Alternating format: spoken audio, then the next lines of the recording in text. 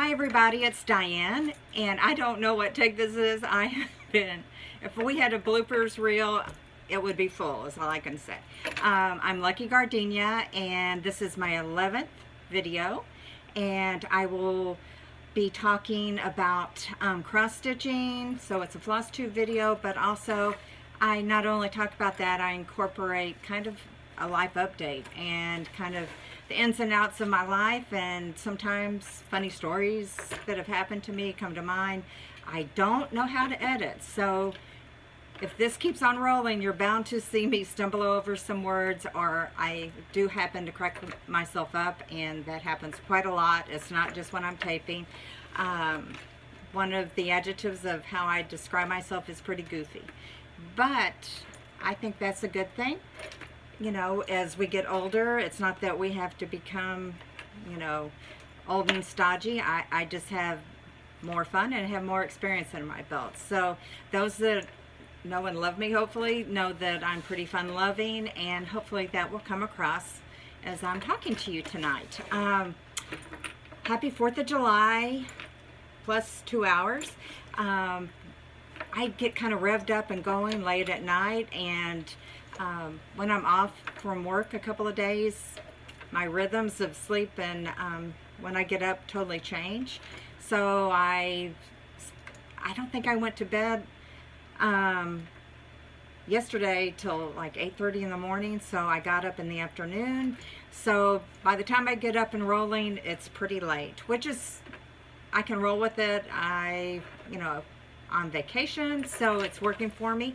But um, it's pretty sad when you have to get yourself together to make a video, but that's what um, I try to pull it together so I could um, maybe put something out there. I'm trying to be a little bit more consistent on uploading videos. I think it's been a, a little over a week, maybe 10 days, so I wanted to come back and I was thinking, gee, what do I have to share? You know, I really, do I have anything stitch related? And, you know, I started thinking and I'll show you what I actually did. I grabbed an envelope. I was writing and writing, writing.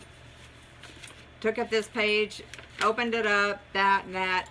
Finally on the back, and I thought, oh my gosh, I'm not going to be able to refer to that and keep this video rolling. So I ended up getting out one of my beautiful journals. This is a Chic Sparrow, and um, I don't know if you can tell, it's somewhat, um, I would say eggplant colored and it has ink splatters on it and dribbles and I just love it. Um, Chic Sparrows is one of my favorite journals and um, it's a traveler's notebook and I'll take a talk a little bit further about that later in the video but anyway I, I started writing everything down in here and I can't tell you how many pages I have so um, just thought I would share what my thoughts are. I had much more that I thought I could share and hopefully you'll stick with me through this and if you like it I would appreciate you following me and I will follow you back. I have found so many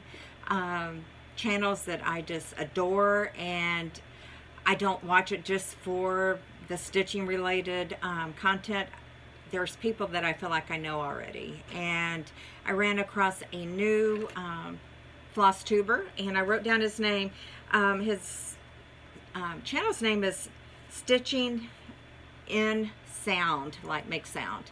And I think he has four um, floss tube videos up now, up and running. And he just cracks me up. I just love to watch him and he's so expressive. So I, I highly recommend it. You know, go on and watch the first one, but get into by the third and fourth one, he's really rolling with it. So I encourage you to watch it. Um, he's one of those that I'll go back to, kind of like Pam and Steph from Just Keep Stitching, that you just feel like you know them. And I think he even said, you know, there's people you just watch and you think, I wish I lived by them. They'd be a great friend. You know, I would love to hang out with them. So hopefully some of you may connect and feel that way about me. And I know I feel that way about many of those that I watch. So I appreciate everyone that takes their time to film a video, upload it, get proper lighting, um, think about what they're going to say. It, you know, it's really not a willy-nilly or drop of a hat. You know, it's somewhat, you know, after your first one, you get to know your needleworker tag, tag it, you know, it, you have to really put in some thought. And like I said, mine is not fully stitch related because clearly I am not a mass producer. Um, I'm one of those creatives that I need to feel like doing it to do it. And um, was talking to a friend earlier and was talking about, you know, making things to sell. And, you know, I've never been that way. Uh, I'm a quilter. I've done other type of artistic things. And if I'm spending my time making it, it's just because I'm enjoying it. And they're kind of like a baby to me. I, I really am not very good at sending them out to the world for whatever reason. So, um, I think I've mentioned it before. I it's kind of a process and I think the downside to watching all these videos is you're always seeing something you haven't seen before. And there are so many excellent designers for um, cross stitch nowadays and it's not like it was back in the 80s, the folk style, the geese with a bow or a plaid or um, I mean, it's really progressed and it's really an art. So um, I'm always seeing something that catches my eye and I'm having a really hard time deciding, honing in on what I'm going to stitch, you know, what I'm going to commit some time to.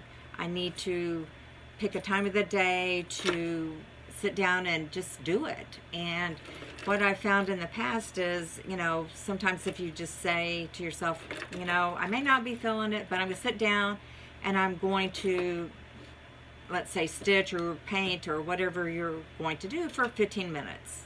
And at that point, check in.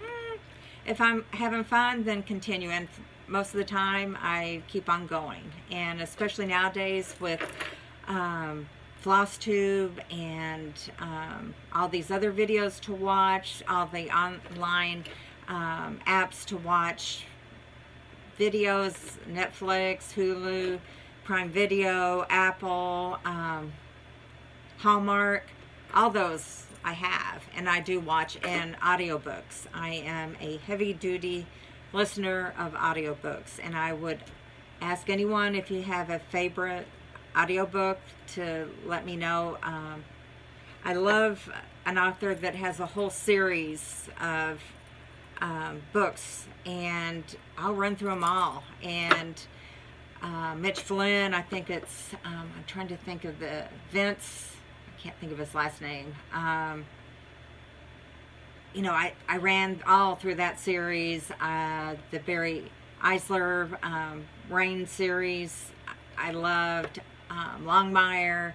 Uh, I like a lot of the mysteries. Um, a couple, you know, romance kind of, kind of like Hallmark type of books, and then I do listen to some biographies. I'm very interested in, you know, the royals from, you know, years ago, that type of thing, but, um, or, you know, Georgia O'Keeffe, um, just anything that may have, be of interest. So if you have anything that you really think I may like, just let me know. I'm always looking for either a new TV show um, or an audiobook or in fact just a hard copy. Um, but more than likely, I still like the feel of a hard copy book, but you know, I, I have my iPhone with me everywhere I go. I have my headphones. If I'm grocery shopping, whatever I'm doing, I'm going to be listening to something. And um, so I'm, I've, I, I'm embarrassed to probably count how many books I own on audio tape, but um, or through Audible. But I do go back and I listen to them sometimes repeatedly. So um, anyway, I need some suggestions, guys. Um, let me look at my notes and see what I want to talk to you about. I do have um, a couple of new patterns that I want to discuss with you, maybe share with you what I've got on order, hopefully to start soon. Um, I also, I've already told you about the um, new FlossTube video that I ran, across, ran across and um, recommend you um, staying with him through his first four videos and he just cracks me up. So um, really enjoy watching him. But I also wanted to um, talk about someone that is not Stitch related, and it just happens to be one of those video channels um, on YouTube that I crossed earlier in the year and immediately was drawn to. Um, her name is Emily Howard, and um, she was young. She's in her 20s, um, early on, I think late teens. Um, she was diagnosed with skin cancer and it um, led to terminal cancer diagnosis. And she documented her whole um, journey through that. She, you know, it got to a point where they said, you know, if there's anything in your life that you want to do, we suggest you do it. And she married the love of her life, and her name is I, I believe uh, Aisha, and all I can say about those two and their family and their support system is what grace. I mean, to share that with everybody, it's such a difficult journey, and they did it with dignity and grace, and I was so sad. I'm going to cry. Uh, she passed away, and it's just so sad, but highly recommend you watch her. Uh, I'm gonna cry. This is ridiculous, but that's why I'm saying you feel close to these people. She's in the UK. Never met her. But they just touch your heart. So I better move on to something else so I won't cry. Um, let's talk about the 4th of July. That's somewhat happy.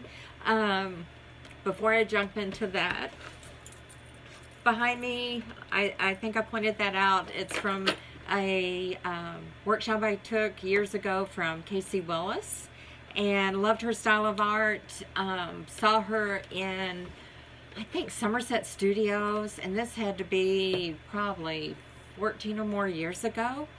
And it had her email address on there. And at that point, I always try to buy something um, from an artist like once a year. And I contacted her and in it, she did like wall hangings and, and little wall um, pieces. And she also did altars. So um, contacted her. She was very willing to um, make something for me and send it to Texas. So um, I think the first thing I, I bought from her is a small piece of wall art and then I she does altars. So I bought one from her and it was too big and hard to get down but um, I loved everything she did. She is a very intriguing person. She um, was a jazz singer.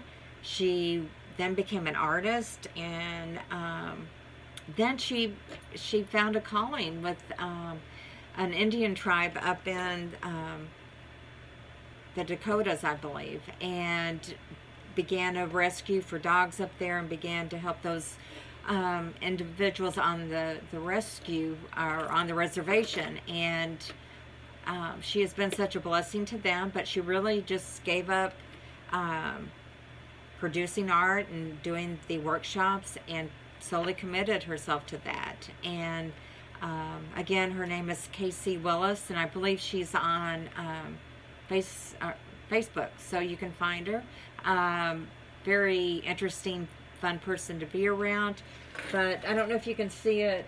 Um, back here is an altar that I made at one of her classes. I don't know, it's the Lady of Guadalupe, and what was so cool is that her husband, they would go out and find pieces from furniture. I, you can see this used to be part of a chair. The backside is part of a drawer. These were legs on something that they split in half. And I think this looks like part of a table, kind of like a leaf. And you would pick out what you wanted. This is um, it's it's a photo it's it goes through a um, printer but it is you take a photo and it comes off on you know ultimately fabric is what you iron it onto and then you kind of work around that. So she would always bring vintage um, trim and I don't know if you can see that, but that's like a door handle down here. Anyway, um, love her art. I can't tell you how many pieces that I own. Uh, she At one time during the year, she had a humongous sale, and I took a leap and bought a really large piece of wall art from her. And um, she's very drawn to um, the Old West, and um, and, in fact, that's what, I don't know if you can see this, it represents the stars on the flags, but they're miniature pictures of women that, um, from the Wild Wild West, basically, and they're real photos, and, um, you know, they kind of pioneered where we are today, and um, it's very interesting, and their lives are very hard, but they really got us to where we are today. Um, also, I think this was like a three-day workshop. And because I lived in the area, you know, I just drove there every day. And so we made the flag one day, the altar one day, and then I made this, I need to, this came unraveled, but um, made this um, wall piece. And you know, if you have a sewing machine, I don't sew clothes. I do quilt um, my piecing, but you can do decorative stitches and also just sew on these type of things. So anyway, this is my kind of style. It's, it's very eclectic. I'm kind of a shabby chic type of person, but I just thought I'd share that part of um, another side besides uh, cross stitching that I enjoy and have done in the past. But um, what made me think of it is I thought, gee, I need a 4th of July backdrop. And I thought, gee, let me get this. Um, when I was thinking about 4th of July, it's one of those holidays that I don't necessarily feel like that I have to go out and do anything, but I was thinking back, reflecting on 4th of July's of my youth and, and, and just the good memories that I had and was thinking back, you know, what we used to do as a family when I was um, growing up and what comes to mind is we would always make homemade vanilla ice cream or peach ice cream. We had these peach trees out in our backyard and they made the best homemade ice cream and it wasn't, you know, um, electric, you had to hand churn it. You put the salt in the ice and, you know, we had to sit on top of it and churn it. And um, it was just wonderful. And uh, so that comes to mind. We always had sparklers. You know, living in suburbia, we couldn't really do firecrackers. Um, we did sparklers and um, we would go see the fireworks at, at the like at the high school stadium, they would have a big production. And I remember, you know, you were so close to where they were shooting them off, you know, all the embers would fall down and you could actually get burnt by them. But um, I guess I was a pretty chicken as a kid and, you know, I would start crying and, um, anyway, I was just a scaredy cat is all I got to say. But, um, but we would do that every year.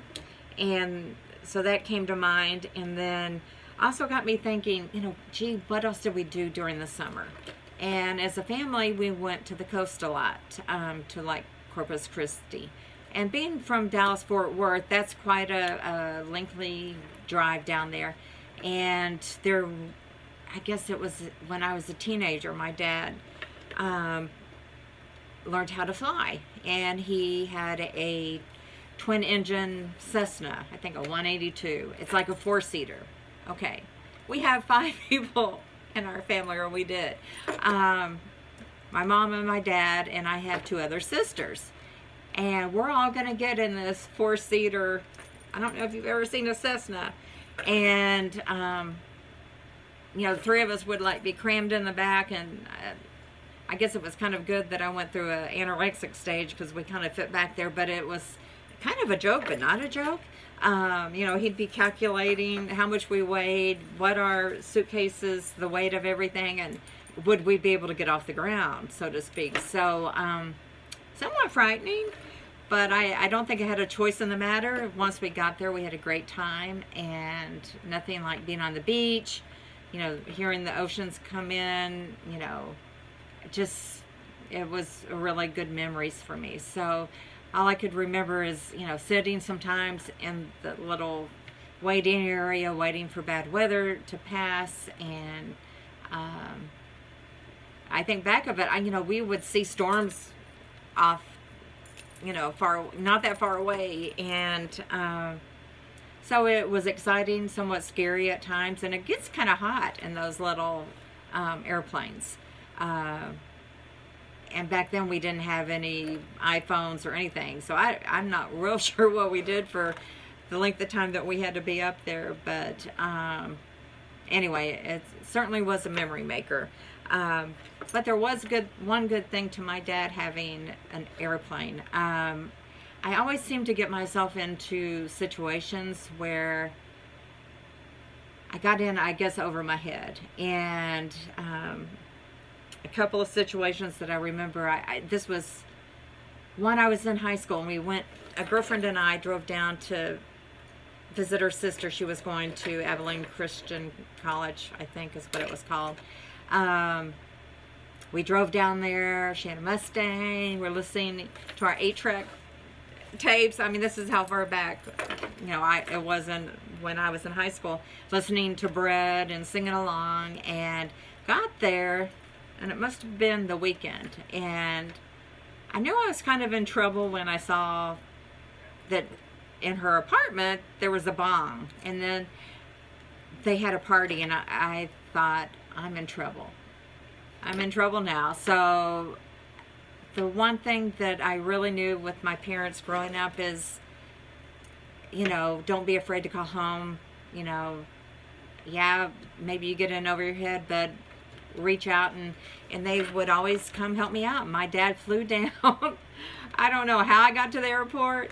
Um, he came and picked me up and off I went. And um, I kind of knew when I, I, needed to get out of a place. Um, secondly, uh, when I was a Apache Belle and um, must have had the weekend off is all I can say. We must have had, the, the team must have been away uh, for a football game, so we had the weekend off.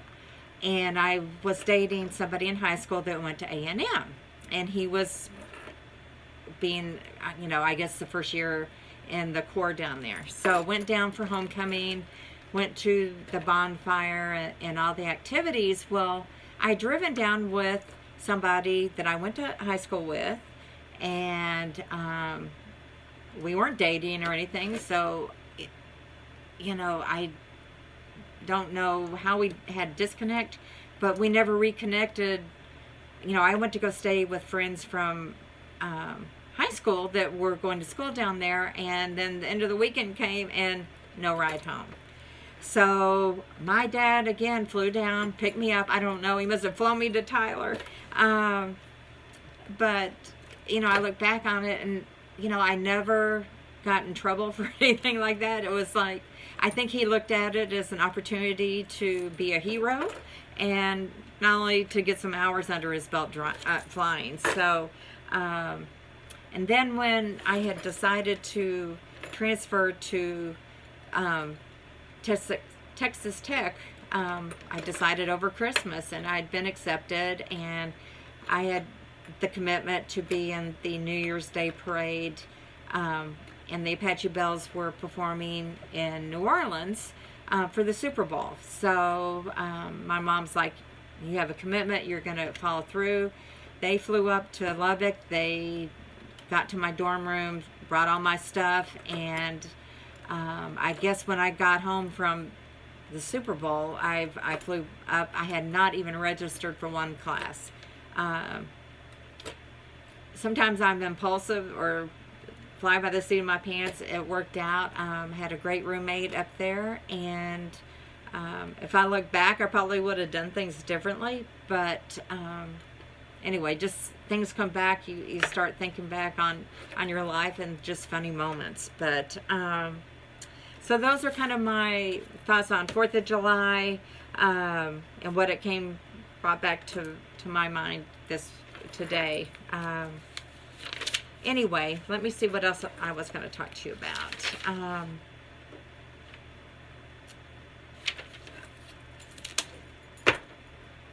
let me talk about um, what I'm working on. I think I've already showed you the abstract Frida and abstract Pug. So those are still in the work. I'm working on a long dog sampler, kind of pulling different pieces together from different samplers that I bought um, from them and trying to piece together something. And then was watching um, Stitching and Sound and, you know, with the 4th of July here, I thought he brought forward a pattern that had just come um, that had been re-released and he had just received it. And um, let me find it and it was patriotic. And let me get it out of the bag. Had I known they were going to re-release this I would not have bought this. This was from the original run and um, these were highly sought after um, very pricey um, on the first run because they weren't I think they were made in you know, for the memory or to uh, memorialize the 9-11. Um, and it's Lady of the Flag, and it's a Mir Mirabilia by Nora Corbett. And um, I had it, I, I hadn't started it, and I thought, gee, you know, um, I coveted this pattern. And I looked and looked and looked everywhere for it, you know, looking at eBay, looking for anyone that would be selling their copy and never could find one. Um, I think the conversation on some of the FlossTube uh, channels had been how outrageously priced they had gotten. I'm looking at this. This is from the store. Um, I can't even read what store this was. Um, but originally this was dated February 2002 and it was for 12 bucks. So I think what you'll find on eBay right now is like $700, I guess, for the first run editions. Um, they did do a special uh, run of these as a re-release. I guess it's good that I bought this. I did not buy it for an outrageous price like 700 bucks, but it was probably the most expensive pattern I've ever purchased. Um, and I was thinking, gee, I, I should have just waited. You know, I, who knew that they'd re-release it. But to be honest, I didn't even know they re-released it because it must have come out during the time when I was kind of um, MIA due to, um, you know, my father was ill and then he passed away in September and just kind of um, the stitchy bug had kind of left and I wasn't um, watching the YouTube videos or following any of the Facebook groups. So I, I just didn't know it, the, the re-release. Now they, they may come back with more, but I, I do have a legit copy. Um, I guess there's some non-legit um, versions of this that people can get their hands on, but um, I thought, gee, I really need to do this you know, I want to start something patriotic and I think I've already said my eyesight's not very good and I do most of my stitching on Aida and I thought, you know, if I'm going to put the time and the effort into something that will hopefully be an heirloom, I need to get the appropriate uh, fabric. So I believe it calls for linen. But what I found, I was looking on Instagram, and there's versions of this where people have opted to do like a sky blue, you know, some hand-dyed um, version. You see it on cream background. You see it on different, I saw one, a really like dark uh, blue background that was stunning. Um, but the, I think it was a Picture Me Plus or something like that, um, dyed fabric, and it kind of was like a blue purple, and I thought, you know, due to the one-off, you know, they're each individually done, that if you could get something that you spent quite a deal of money on, and it really be purple and not blue, and that just wouldn't work for me. So, um, I did see versions where the background, it looked like something was written. And come to find out, you know, I'm searching Instagram and trying to find out where they, the source that they found that. And what it was, it was, I found it on Facebook. Um, a woman's on there, I believe from Arizona, and um, can't think of the name of her shop, but, you know, I could find it. I clicked to it, and it's called We the People. And um, so I thought, heck, I'm going to order that. And it, usually I like three inches on each side of the design, you know, for framing. I think this is um, going to be a little bit shy of that. Um, maybe, you know, just a little bit shy, but it's like everybody else had fitted onto that piece of fabric. You know, I'm going to do it. It's usually framed pretty close to the design. So um, that's on order. And also the other patriotic um, memorabilia uh, pattern is called Queen of Freedom. And it's a dark-haired um, lady with I think she has like a tiara or crown on and she has a flag in her lap and it's stunning also. So also ordered that pattern and I ordered some 32 count um, linen um, hoping that with my magnifying um, lamps that I have that I can actually do two over two on that and I opted to do that versus Aida because when you get to the faces on these, it goes to one on one strand over one uh, instead of two over two to get the finer detail to it. So you can't actually do that that I know of very accurately on Aida. So I'm hoping for the best and we'll give it a good old college try. And so just we'll wait for the materials to come in uh, probably would do for individuals who aren't stitchers, these um, patterns cause, call for a lot of beading and different um, crystals and different um, things that you would add on. I'm guessing at the end because I could just see you beating it and then as you're rolling it up or, or, or putting it, moving the frame around on it, even if it's a, a, a Q-snap or whatever, that you possibly could break them. So I would think that that would be, after you finished everything, that that would be kind of your finishing touches. So if I'm wrong, hopefully somebody will leave me a comment and kind of um, point me in the right direction. But that is going to be my, hopefully, something that I'll continue to do. Probably will be a lifetime project, knowing me. But um, anyway, I'm looking forward to it, and I do have one from the first run, so that's somewhat exciting. Um, I ran across a pattern. I don't know if I ever showed it to you. I, I probably did, but it was way back last year. And I found this at um, Hobby Lobby, and it was on sale. And it's a kit, and um, I just thought it was cute and something that would be fun to work on. Usually the pieces of Aida that come in these are, are too small. They don't give you enough allowance. So I would use a larger piece of my own, but it does come with all the, hopefully all the floss you would need. Uh, but this is the pattern. And I don't know if it has a title. Oh, it says A Cup of Cheer.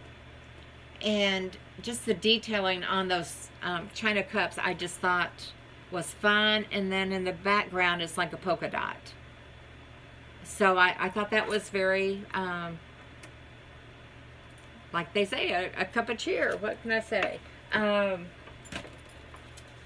so I wanted to share that with you. And then another piece of haul, it, it's not cross-stitch related, but I think I've mentioned I like to do watercoloring.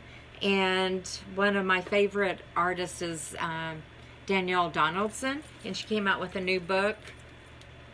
And she also has um, courses online that are very, very reasonable through Jeanne Oliver's studio. And I don't know if you can see it. Uh, let's see. She has some really interesting techniques that you can do. She walks you through it. Um, there's just different things. Um, you can probably find a flip through of this book, but it's called The Art of Creative Watercolor by Danielle Donaldson.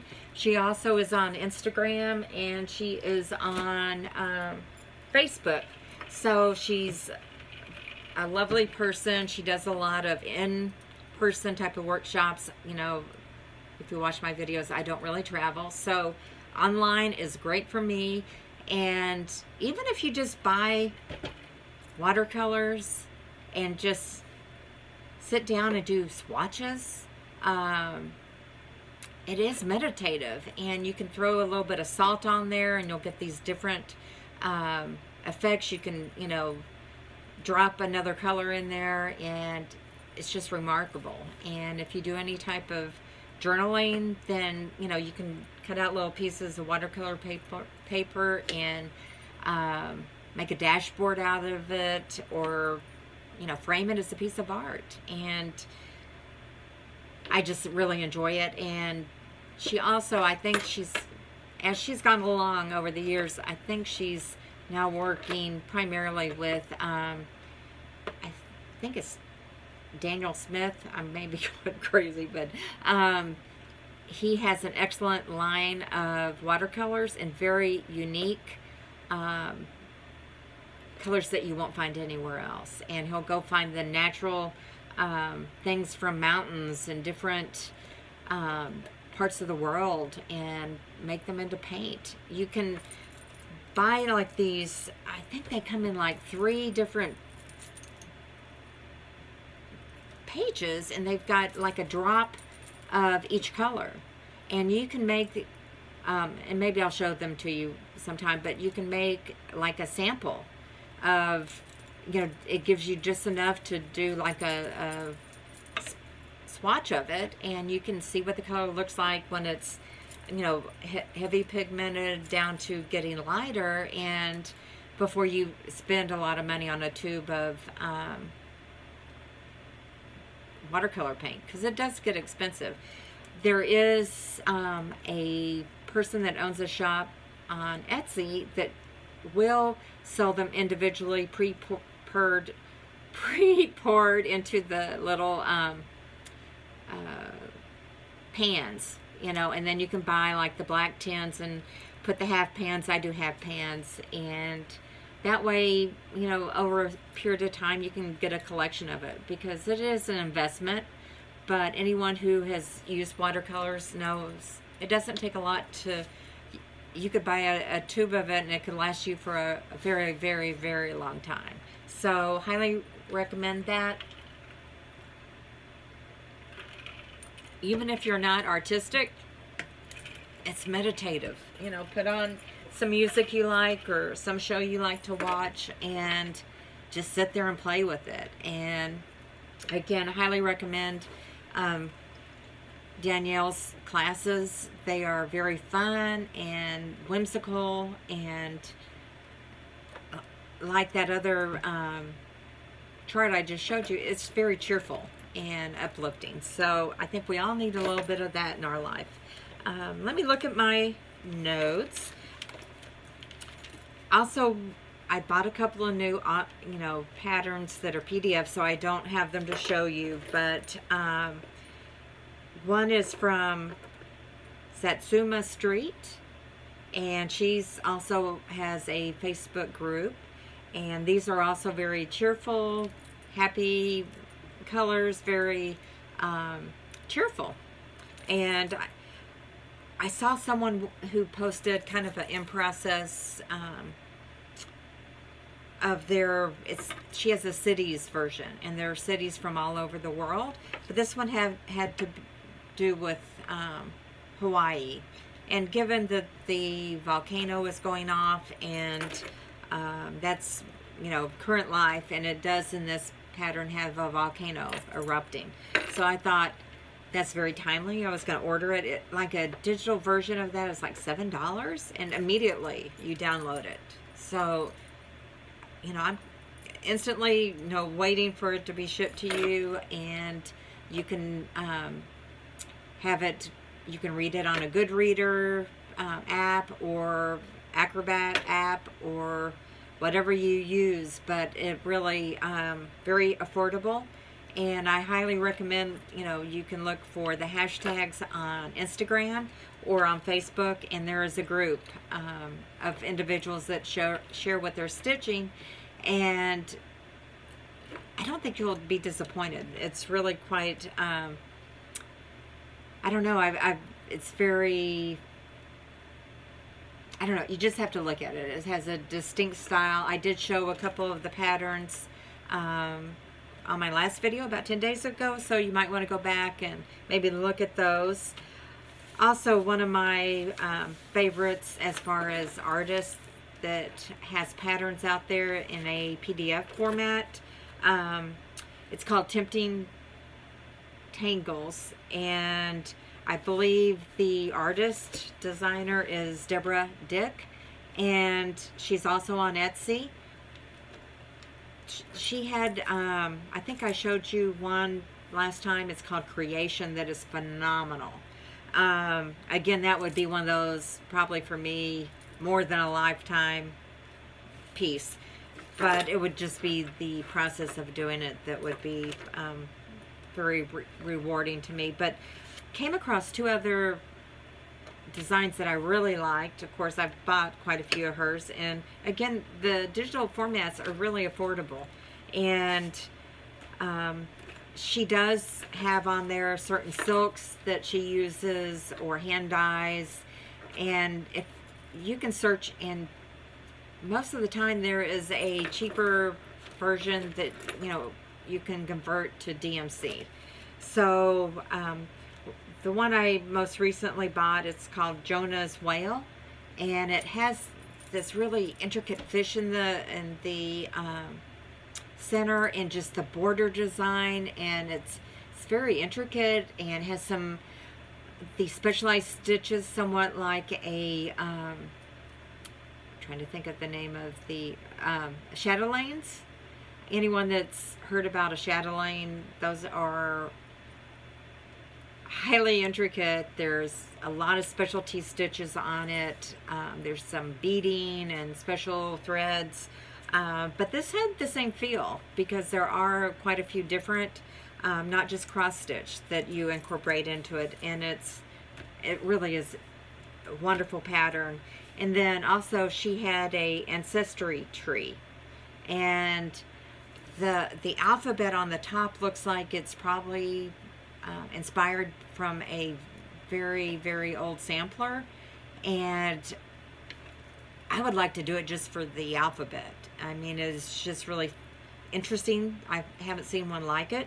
Um, she is on Etsy, so that's called Ancestry Tree. Now, anyone that can look at that and tell me how to lay it out, I, I can't figure out. I need to look at the instructions, you know, how the branches go. I'm not real sure who goes where. Um, but maybe it would be me and then um, my children, and if they got married, their children, or do I start back with my grandparents or my great grandparents? I don't know. So anyone that can look at that pattern, and you know, I only have it in PDF and I've misplaced my iPad, so I can't show it to you, but I would love anyone that takes a look at that to maybe give me some idea of who goes where. Um, because it's not real evident to me. Uh, maybe I'm just a little slow, but anyway, I could use some help, please. Um, I'm going to kind of do a squirrel and talk about a different topic, and it has something to do with going back to the 4th of July, and I just failed to mention it, but um, on my Facebook page, I took my profile pic and uh, figured out how to put a frame on it and have the American flag in the background. And those of you outside of the U.S., this is probably boring, but I'm sure they have frames that are individualized for your own country. But thought that would be fun and knowing that um, reflecting on my my I call him my daddy-o um, who passed it's not quite a year ago it will be a year at the end of September and my grandmother Grandma Daig was a member of the Daughters of the Revolution and he really um, was you know hoping that we would go through and also join that organization that we did have relatives that fought in the revolution and um, obviously it's been documented for my grandmother to be a member. So i thought that's really cool. You know you think back and to think that you had someone in your lineage that fought for our freedom. And um, you know i I can't imagine how frightening that was. And all the um, individuals that are in male and females that are in the military now putting their lives at risk you know they really are brave and much braver than I could ever ever be. And just I want to say thank you. Um, I'm really in awe that we had a relative that was fighting back then and it would be interesting to um, know a little bit more about who that was. And you know I think they were up in Pennsylvania is where I, I believe. Um, but just very interesting and don't know if anybody else out, is out there that knows about the Daughters of the Revolution and is also involved. But um, if you'd like to share any thoughts on that in my comments, I think that would be fun. Um, so hopefully I'll follow through with that and um, following the footpaths of my grandmother. And as I've talked about, she she was the creative in my lineage. Um, my mother wasn't. She could draw. She could write. Um, but she really didn't have any creative hobbies. And when I think back, you know, I was doing embroidery. I was doing different artistic things. But I was kind of a self-starter. And I don't even know you know, I'd read the instructions and I remember I wanted to make a Raggedy Ann doll. And I went and bought the pattern, I all the supplies. And, you know, put it together and I think I still have it. It's kind of wacky looking, but, you know, to, I don't think she even, my mom even, you know, dropped in to see what was true. I'm thinking, hmm. But um, I did do it. And, uh, you know, I guess it's it skipped a generation, but um, as an adult, I got to be very close to my grandma Daig, and when my daughters were born, um, it was um, right after the bicentennial or some um, milestone in our country's history, and quilting was coming back. And they did a quilt contest for different quilts that honored the um, bicentennial. And I thought gee I want to learn how to quilt. So I ended up there was very little little opportunity to learn. I mean there were um, very few um, shops that had quilting or any type of needlework. And there was a place down I think on Ross Avenue or on McKinney down in near downtown Dallas. And I would drive down there and it was called the Great American Cover Up. And it was in this really historic type of um, shop um, that I'd go and take a class and then my grandmother lived over in the M streets off of Greenville and which was just a hop skip and a jump and I would go and I would take her, you know, what I had been given, you know, the pattern that I was going to work on, and hand in hand, she she had never had official lessons, and she ended up making the same quilt that I made, and um, it was really fun to do that because she's the one that exposed me to um, quilting in the first place. So um, I think in my family, just from my own knowledge, I think I'm a fifth generation quilter and maybe further back I would imagine because back then it was probably a, a necessity. So um, anyway, kind of cool. Hoping my daughters eventually follow, get the stitchy bug and want to learn some type of um, needlework. And like I said, I'm trying to catch up with them and get them to come be a, guest um, on my YouTube channel. And they're just, um, not only are they lovely inside, but outside. And they are a hoot. They are so funny. And I just, um, they just crack me up and enjoy getting to know them more as an adult um, at this stage in our life. And they're really very cool people. And I'm looking at my notes, and this reminds me of my daughter Robin. Um, we were out for my birthday, and I was talking about something in high school, and you know, I was a drill team officer, and I was a, vice president of the student council, and, I made some comment that, you know, I was somewhat popular, and. I didn't hear my daughter, but someone told me later that she was sitting a couple of seats down and she goes, toot toot, and she was meaning I was tooting my own horn, but um, is it tooting your own horn if, if, if you kind of have the facts to back it up? Probably so, but I guess it was toot toot. So that's become um, our joke. And she sent me a text the other night and um, it came across toot toot. And then quickly what followed is that she had made this um, awesome salad for dinner. And so I called her up. I said, oh, tell me uh, what you're toot tooting about. And so she shared it with me. And I made a version of it. I kind of combined um, what she did and then I couldn't remember what she dressing she put on it and had recently been down to a restaurant in um, Denton called Roosters and they have something called Cowboy Slaw. So it's kind of a mixture of that, but I made it tonight. It was um, diced up cucumber. I peeled the cucumber and then I diced it up. I had some uh, cherry tomatoes that I um, diced up. I had red onion that I uh, diced up, some lettuce. I threw in some um, sweet corn with none of the juice, just some kernels, and then uh, black-eyed peas.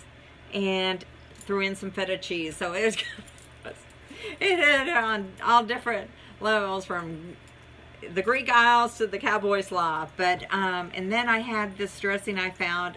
I think she had some kind of um, pesto vinaigrette and I didn't find anything quite that interesting um, when I was grocery shopping, but I found a vinaigrette that was cilantro and lime, and that tasted really good with it. So very easy to throw together. I'm thinking it was somewhat healthy, and so toot toot, it was pretty good. Uh, I'm going to squirrel again and, and, go off to another topic um, real quickly, but um, my mom self, she um, put together a cookbook and she called it Apron Strings and she had it self-published and we each had a copy and um, I can remember, you know, we got a copy and uh, my parents had gotten divorced and, you know, you know, when you get divorced, it's somewhat creates a division and you know with it you take you know my mom was a great cook and you know when my dad and mom divorced you know I don't know that the um, cooking was as good after that and when she found out when we saw that one of our relatives had given um, my stepmother my mom's cookbook oh she was just furious. Um, I think she had really every right to be um, furious. And what was really fun about this cookbook is that she had written some type of, for most of the recipes, she had some type of um, family memory or some thought of, or where she got it, or, you know, just kind of, somewhat of family history. And my um, brother-in-law up in Oklahoma. Hi, Jay. Um, and my sister Tracy, my bestie, um, my older sister, um, ended up scanning it and making a digital copy. And we've thought about self-publishing it maybe on um, through Amazon or something. But um, anyway, in fact, I have a, come to find out, one of my friends from high school ended up with a copy of it. I don't know how she got a copy, but it had bought one. And um, I think my mom maybe had 500 printed up. You know, I think she did two runs of it.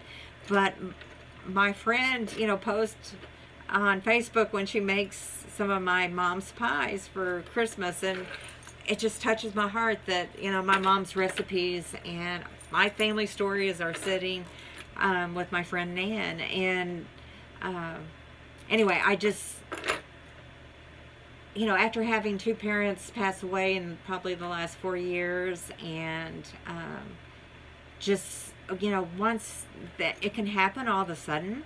And I just highly recommend that everyone you know, everybody has a story. Everybody has a unique life experience, and that's what I love about um, YouTube is anyone can have a channel and they can share their viewpoint and find their tribe. And that's why I'm trying to make this not just a floss tube video, but um, more so just not only that, but also my life. And um, hopefully somebody um, finds enjoyment of in something I say or can relate to something.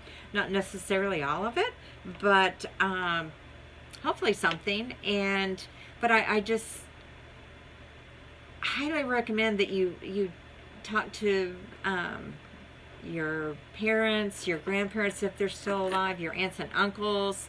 Try to capture the family stories. And I have a friend that's out of town right now and she's doing that right now and um, you know just document it. Um, someone bought something very special for her and um, you know they kept their eye out for it. It's a musical instrument and you know I suggested have her write down what made her choose this one musical instrument. What spoke to her that she knew it was yours, you know, that it said, you know, this is the right one, and what she hopes you to, to take away from it. And um, those are important, and you don't realize, you know, we really take a lot of people for granted. And the other day, gosh, I was on the phone with my daughter Robin, and we, I was just sharing all kinds of family um, lore. You know, a lot of it is, you know, you think it's true. But, um, you know, once a family member goes, unless they've written diaries, you know, it's just lost forever. So I highly recommend that you document them. Um, get your parents and your loved ones' voices on um, audio tape or a video um, because that's what you'll miss once they're gone and you'll be saving those phone messages that you have and trying to not ever lose them because you know you want to hear that voice again so you know I, I just highly recommend that you take the time to do that and and get to know your, our elders because you know I think back on my grandma Deg that I talk a lot about and my Granny Vera and Grandma Deg was born in um, 1899 and she lived to be almost, she lived almost to 101. She lived in three different centuries and how amazing is that? You, you think about someone who grew up with um, horse and buggy and no electricity, no light bulbs, no telephone, no airplanes, um, just you know what they saw come to life within their span of, of how long they live is just remarkable and just to think about growing up you know my kids everyone has a cell phone nowadays and you know when we used to drive you had to there was no cell phone and um, you had to call on a payphone. Hopefully there was a payphone, and hopefully you had the money to to make a call or you know call collect. But um, you know, so many things you know we take for granted nowadays, microwaves and just other things that you know back when I was growing up, Jiffy Pop was like amazing, and um, so anyway, it's just we need to honor you know our lives and what we've gone through and share them with um, our children and our grandchildren because it's part of history. And it's your unique history. Everyone has a unique life experience. And I'd much rather learn from somebody than have to go through something um, you know that's not so good when I can learn from somebody else. Or just those family little stories that are just so endearing. Or you maybe you have some notorious um, relative from the past. I mean how cool would that be? Um, anyway let me know if you do if you want to share a story in my comments I would love to hear them because um, I really I find value in that um, let me take a quick look at what I'm missing I've got um, a couple more things and I'll try to get through this. Um, one thing, I'm, some things that I'm into right now, um, iced coffee. I've never really had iced coffee. You know, I start out in the morning, first thing, Diet Coke. Second thing, I started to make a, a cup of coffee. And here in Texas, it gets mighty hot in the afternoons. So what I've been doing is, you know, after a certain point is making iced coffee. And, um, I'm not this person that's going to make a, a pot of coffee and not add anything to it. And I was trying to write down my concoction, at least today what my concoction was, and thought I would just as um, something that's funny share with you. Um, it consisted of um, a couple of tablespoons of Starbucks mocha, um, Dunkin' Donut hazelnut, and then I still had a bag of um, pecan pie from Archer Farms, which is the Target brand coffee. It is to die for. I cleaned out their shelves last fall. It's it's very seasonal, but I found it in my pantry. It's like ah, um, it was like a, a gift from heaven. And then um, to that I add I love dry creamer. I'm not a half and half girl. I'm not a skim milk girl. I like dry creamer. Um, Splenda, you know, I've got to have it sweeter than what it comes out. And then not only that, I take like half a package of light um, Swiss Miss Cocoa. And um, I think a packet of the full thing is like 25 calories. Um, and then a couple dollops of light Cool Whip. So you could, it's kind of like a dessert coffee in the breakfast.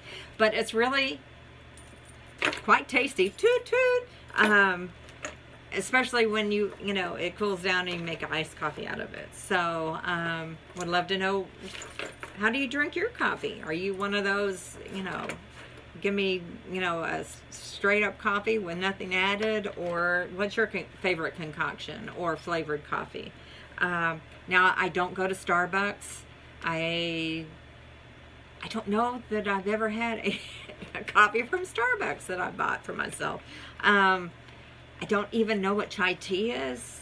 I hear it talked of. It, it doesn't really sound too appealing to me, but I'm sure my daughters know. Um, so those are my two food-related things, my um, salad and my iced coffee concoction. Um, thought I'd also maybe share with you what I'm watching why I am stitching. And then also any ideas as far as cool shows to watch.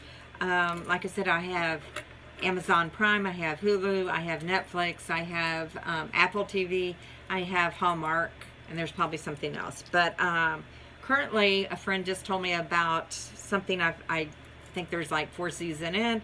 I'm just hearing about it. It's called Power, and um, that's somewhat interesting. And um, there's a new show that's out. I'm seeing it on Hulu called The Bold Type. And I think it's something that just started this year. So that's really cool. It's these three interns that get permanent jobs at like a fashion magazine in New York. so it kind of goes along their life. Um, also, I really, really, really like Goliath on Prime Video. Um, first season probably beats the second season, but it, it's um, it's really good. I highly recommend that. Um, came across a new show. I think it's on Amazon Prime. It's um, The Cleaner. And you'll just have to watch it to find out what that's about. But um, also I, the Good Witch um, series. The I know there's several movies out, but the TV series has been out. You know, by the time I get on the bandwagon, there's usually a, quite a few series down the pike, so I can really do some binge watching. So those have been fun and, and they're uplifting. Um, I think what I've mentioned before, movies, books, one criteria I have is it needs to end happy. And I'm one of those people, and I know I said it before, I will go to the end of the book to make sure it's a happy ending because I get too emotionally invested. I think you could see it at the first of this video. I, I just, um, I take a lot of things in and I, I'm not gonna a storyline that ends unhappy is, is you know I don't want to spend time on um, I think we all need something uplifting um, also Rise um, I think I've mentioned and um, on Acorn which is a BBC UK I think uh, Australia type of channel uh, Striking Out is really good and No Offense and 800 words. Um, two other things. I ran across on Instagram. There is a writer. Her name is Angie Smith. She is married to uh, one of the singers in a Christian um, musical group. And she's written some really good books. And um, she has a, a, book called Seamless. And I have the book, and I have every intention of reading it. Um, maybe have gotten through the first day of the first chapter, but um, there, she, there's an offer for a um, free Bible study of this to follow the book. Um, you can um, enroll. You can go to Angie Smith and she's on Instagram and there's a link and it's through Proverbs 31 and it's online Bible study and it started I think June 25th so there's still time to check um, to catch up of course, if you haven't purchased the book, you would need to do that, and they do take donations. But it um, it is free for those of you that may be interested in that. And then one last thing that I will end this on. Um, I think everyone knows who's watched any of my videos that I love Frida Kahlo. And um, not only for her interesting avant-garde life, but um, she was an artist. And um, I also, I collect dolls. I love dolls of most any kind. Uh, you know, when I was young, it was Madame Alexander Barbies. Um, but I like artist dolls too. So I found a, um, a Frida doll on um, online and it was a, a artist or a artist doll maker out of Mexico. And I bought one and I ended up buying five of these and why I did that, let me explain before you say, why in the heck did you buy five? I am picturing this as a wall installation. And um, you're going to see they're substantial. They're like this big. Um, let me find the first one I bought. And each one's very unique and they're all one of a kind. I don't know if you can see her. She's very exquisite. Um, hand, you know, the the yarn is braided. This is all handmade. Um, so that's the first one. If you can, I mean, she's so big, you can't even get her in a frame. So just imagine, I imagine putting her on the wall, you know, putting a nail in between each arm and have them side by side by side as an art installation. So here's one and each one of these are, are just exquisite. Um, this one, and she has red stockings. she has like a little, um, a little, I don't know if it's um, a charm, a, a make-a-wish charm or whatever.